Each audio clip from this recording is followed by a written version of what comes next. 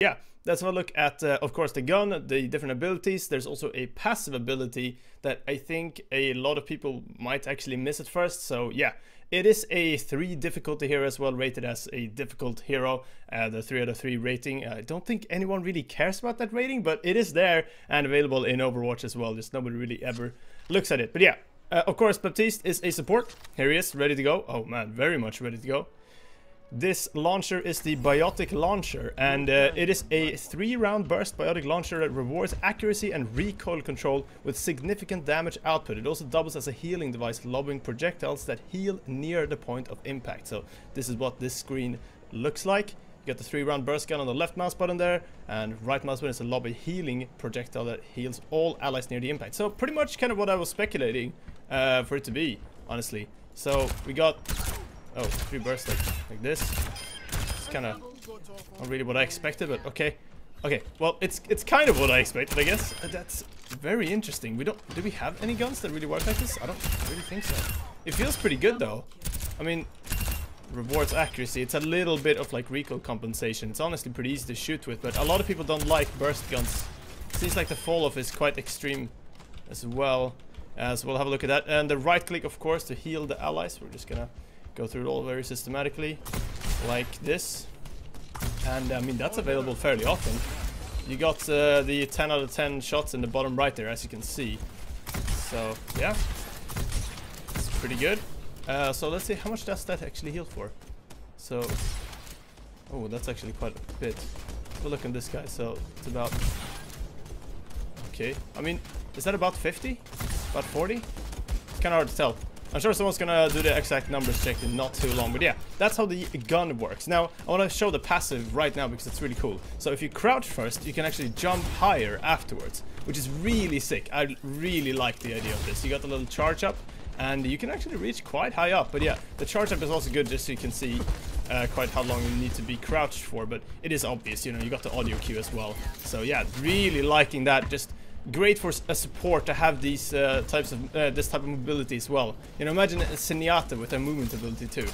Uh, just yeah, really good stuff.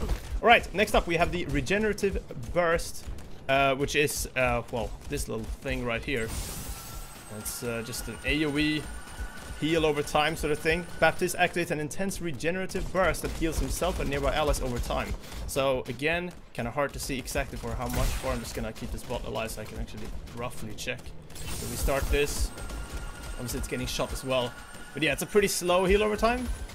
But that seems to be of like about 100 I guess. Maybe a little bit more. Either way, um, we got the next ability, which is a pretty good one. Watch this. This is the Immortality Field. It's kind of like a, more like the Immortality Tin Can or the Immortality Cylinder, but yeah. Uh, your allies cannot die when they are in this. Obviously, they can go all the way down to 1 HP, but Baptiste uses a device to create a field that prevents allies from dying. So, yeah, and the generator, this thing, can be destroyed. I can't see its health bar, uh, so kind of hard to know how good that is. But it shows also, I guess, the minimum amount of HP there. So that seems uh, that seems pretty useful. But yeah, this is really good for like long range fights, I guess you could say. Like uh, two Widowmakers fighting each other. One of them has an immortality field, can just peek for ages. Uh, that might be good. Just speculating.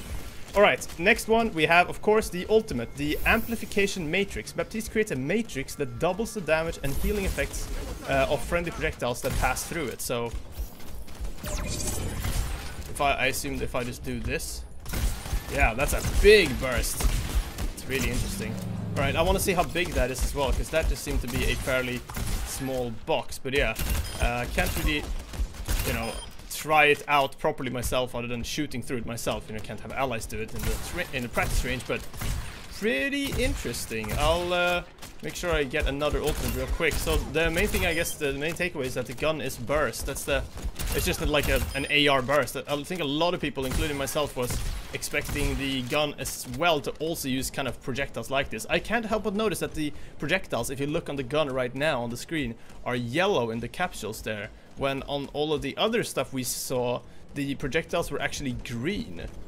Uh, which is what led a lot of people to believe that there was some sort of poison uh, going on. And that, uh, yeah, it would be a, like Jeff said, I think a while ago, green is saved for poison or whatever. Alright, anyway, uh, let's see how big this thing actually is. So, I mean, it's not that big, but I guess I can do this. That's very interesting.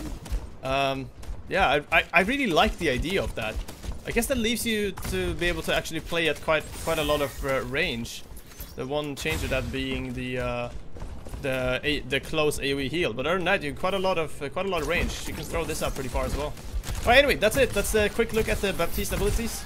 And uh, we're going to be having an interactions video up, of course, and all of that good stuff in not too long. So keep an eye on the channel for that. And uh, yeah, thanks for watching. Until next time, take care, and I'll see you then.